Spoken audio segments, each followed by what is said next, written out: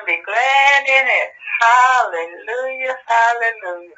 To God be the glory for all the good things he's done in our lives. Hallelujah. Praise the Lord. Love you. And anointed them with the anointment, Okay. anointment, Uh-huh, uh-huh. or the ointment. Now, when the Pharisees, which had bidden him, saw it, he spake within himself, saying, This man, if he were a prophet, uh-huh. would have known who and what manner of woman this is that touches him. Uh-huh. He is a sinner. She is a sinner. And Jesus answering said unto him, Simon, I have someone to say unto thee. And he said, Master, say on. Okay. There was a certain creditor who had two debtors. The one owed 500 pence and the other 50. And when they had nothing to pay, he frankly forgave them both. Okay. Tell me, therefore, which of them would love him most? Simon answered and said, Well, I suppose the one that he, I suppose that he to whom he forgave most. And he said unto him, Thou hast rightly judged. And he turned to the woman and said unto Simon, Seest this woman? I entered into thy house, thou gavest me no water for my feet. She has washed my feet with tears and wiped them with the hair of her head. Woo! Thou givest me no kiss, gavest me no kiss. Woo! This woman, since the time I came in, has not ceased to kiss my feet. My head with oil thou didst not anoint. Uh-huh. This woman has anointed my feet with ointment. Uh-huh. Wherefore I say unto thee, her sins, which are many, are forgiven, Uh-huh. for she loved much. Uh-huh. But to whom little is given, the same loveth little. Yes, sir. For whom is little is forgiven. Uh-huh. But to whom little is forgiven, the same loveth little. Uh-huh. And he said unto her, Thine sins are forgiven. And they that sat at meat with him began to say within themselves, Who is this that forgiveth sin also? And he said to the woman, Thy faith has saved thee. Go in peace. Now, Elder, in that whole pack, package, what we saw was him forgiving that woman. Some people, Elder, in the modern day time would say that he just, he said that her, her behavior was okay. He didn't say her, her behavior was okay. No, he didn't. He didn't say that at all. He just said, uh, your, faith, your sins are forgiven. Yeah. And I think we get mixed up on when we say we forgive somebody or we don't condemn somebody that's outside the body of Christ, particularly. We're we're some people think that it's saying we're we're at, we're kind of endorsing the behavior. You're not endorsing the behavior. You just saying is I'm not going to say. I'm remember he told you you're supposed to forgive, right? Yeah. That's what That's he told you. You're supposed to forgive. You're not endorsing a behavior. I, I think the more we look at this this uh this this This passage, this uh belief system okay? um detached from European, you know, uh society Yeah. and I think maybe more in line with the way that it was taught. It's more internal than it is, and even the scriptures indicate that the kingdom of God come not by observation, but is revealed from within.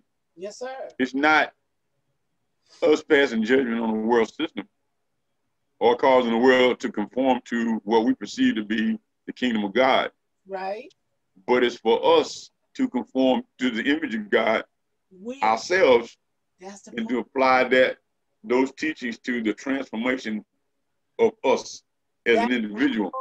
That's So that when a person observes you, That's they should see a, see a citizen of the kingdom and not someone trying to make them one.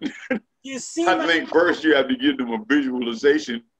A good teaching uh, tool is a is is, is, is, is something visual. So you, you have you give them a, they call it a visual aid.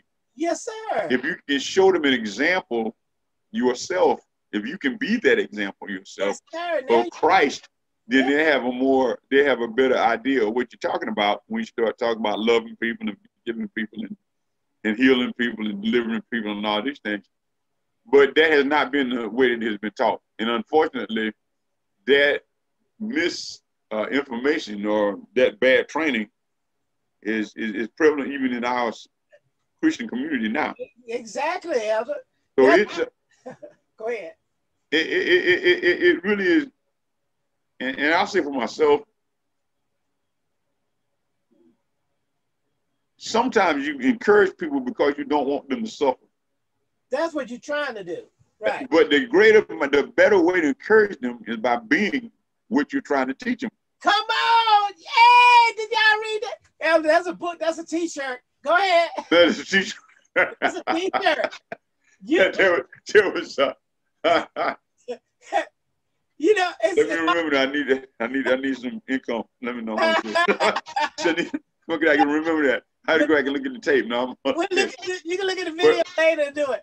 But, but that's, that's what Jesus did. I mean, I, the greatest te- master that we've ever had, the greatest teacher that ever walked the planet, did exactly that. Yes, sir. Jesus was is the example of what he he encourages us to become.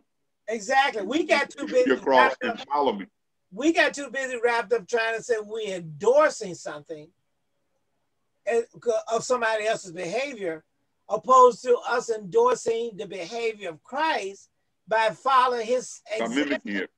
And I, I, think that's about what we're we're we're we're uh, constrained to doing right now, because we're not given the uh, we're not given the, the option to judge the world. I know Paul mentioned in some places, "Know you not that you would judge angels." So, and he, and he, and he talks to us concerning judging within the house, within the, the, house the, the house of God, yeah, within, within the, the body of Christ.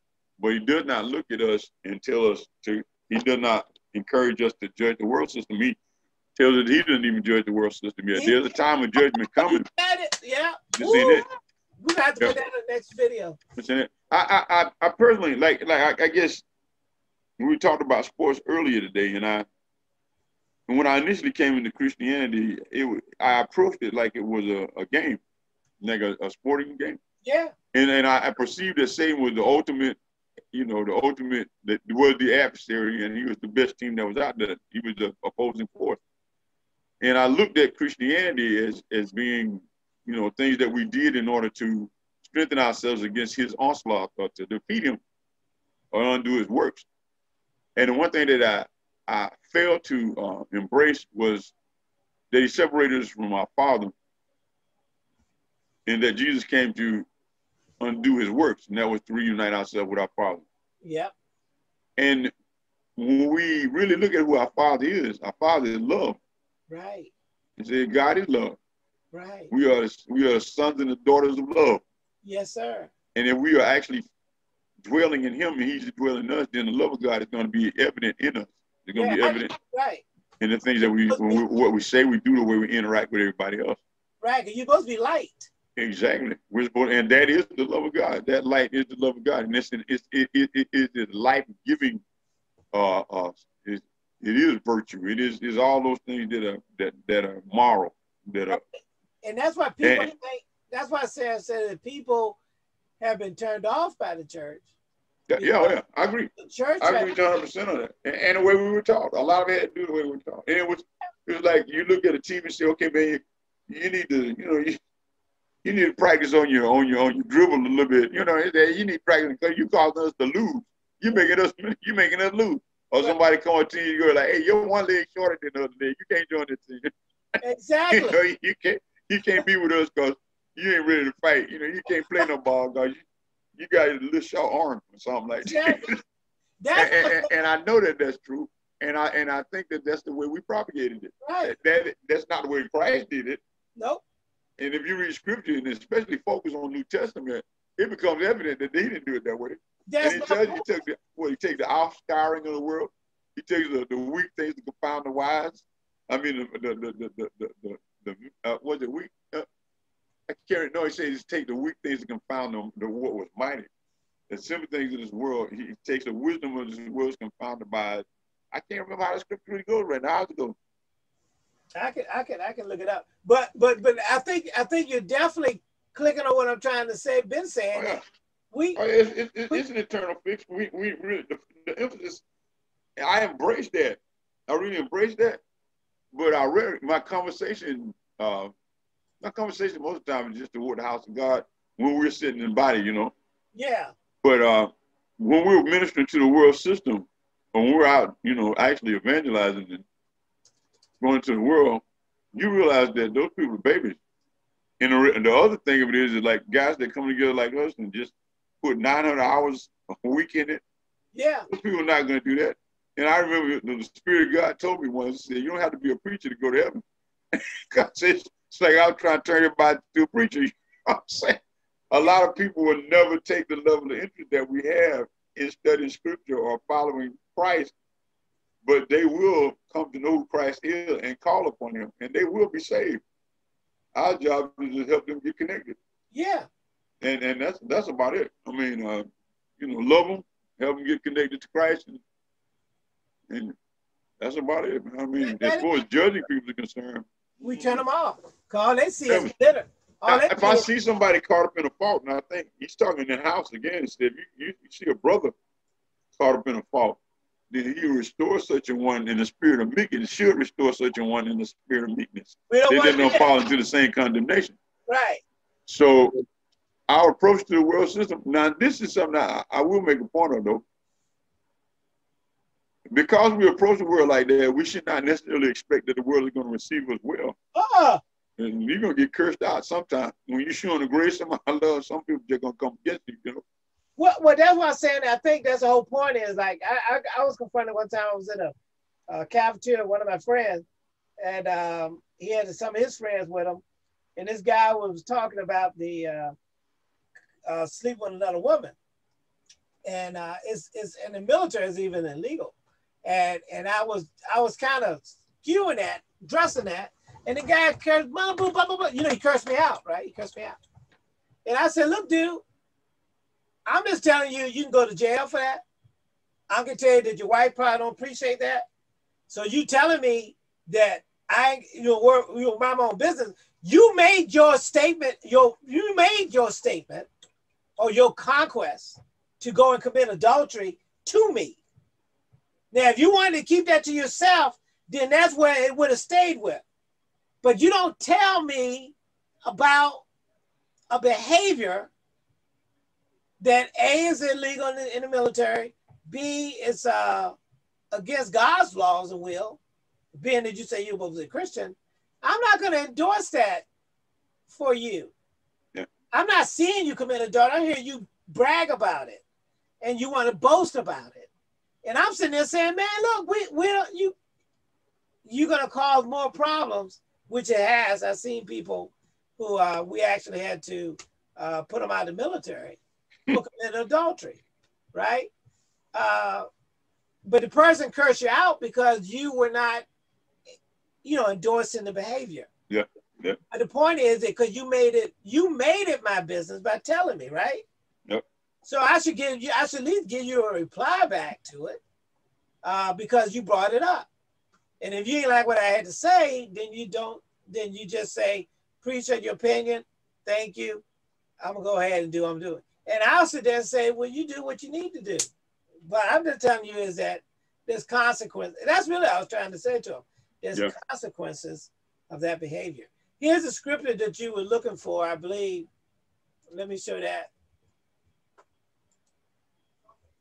It's uh step 27, 1 Corinthians 127. Yes, that's what I was looking for. But God has chosen the foolish things of the world to confound the wise, and God has chosen the weak things of the world to confound the things which are mighty. Yes, sir. Yes, that's exactly what I was looking for. Exactly. and and it talks about the, you know, the kind of men that were chosen at one point. Yeah. How not many of them were really wise or you know rich or so forth and so on, but he he chose simple men to to uh, propagate this gospel of the kingdom truth. Yeah. Matter of fact, read 22 all the way down to the last so that people can do it. Where's that now? First reading. Corinthians 122. Yeah. Just so the people know. Those For the Jews require a sign, and the Greeks seek after wisdom. For we preach Christ crucified, unto the Jews a stumbling block, and unto the Greeks foolishness. But it is them which are called, both Jews and Greeks, Christ the power of God, and the wisdom of God. Because the foolishness of God is wiser than men, and the weakness of God is stronger than men. For you see your calling, but for you see your calling, brethren.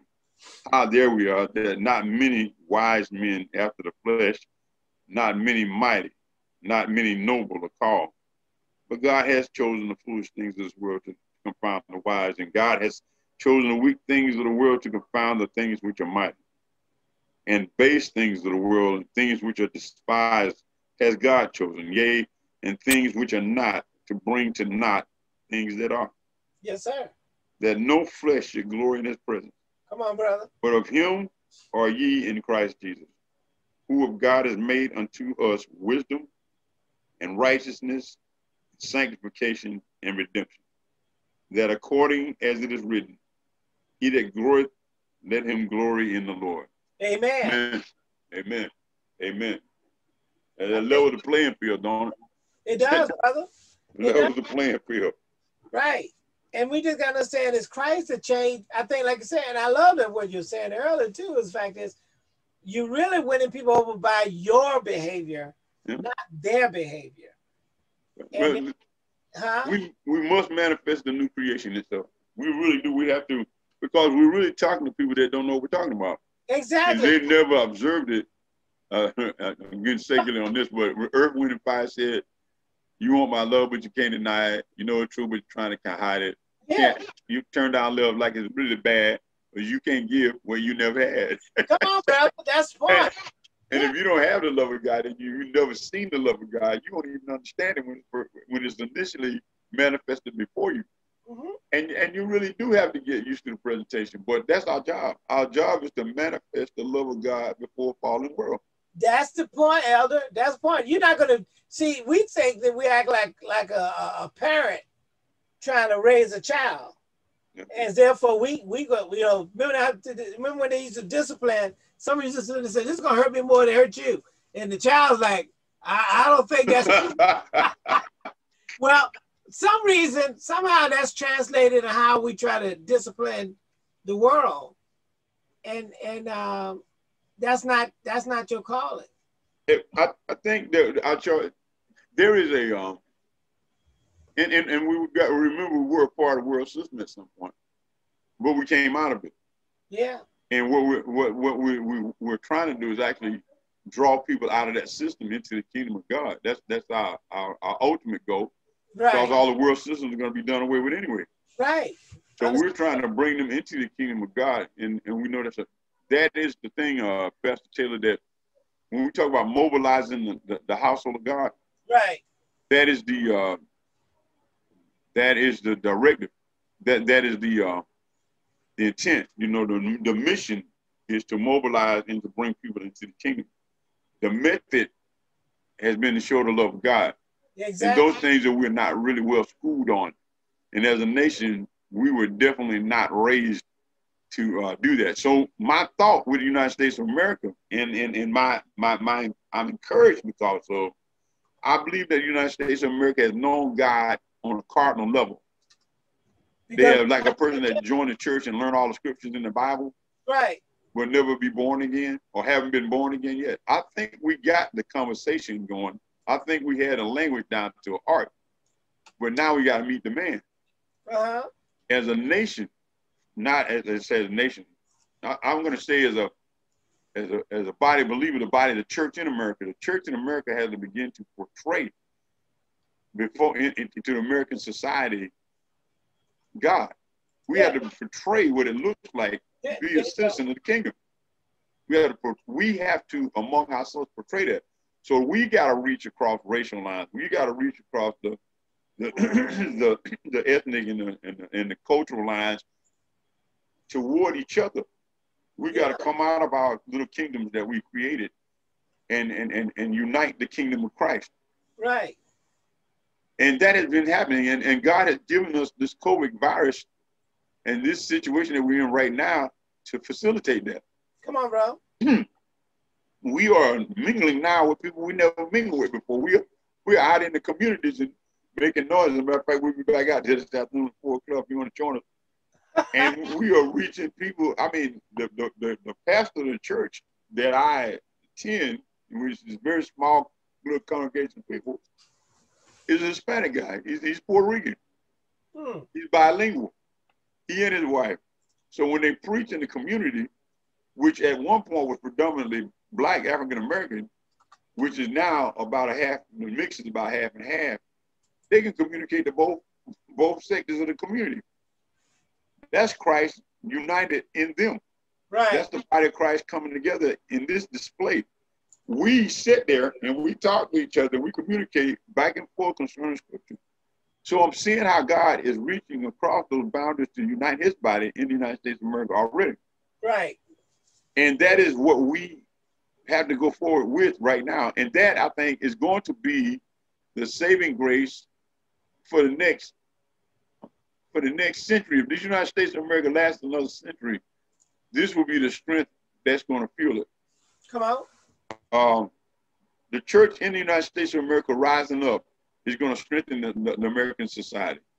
Right. And we'll be able to witness globally. And, and I and I personally think, and this is Johnson, of course, I personally think there were no accidents made. There were no there were no happenstances. No things didn't just didn't just occur. I believe there was a purpose in God's heart that this should come to pass. Yes. This nation should be raised up to be a global witness to the glory of God.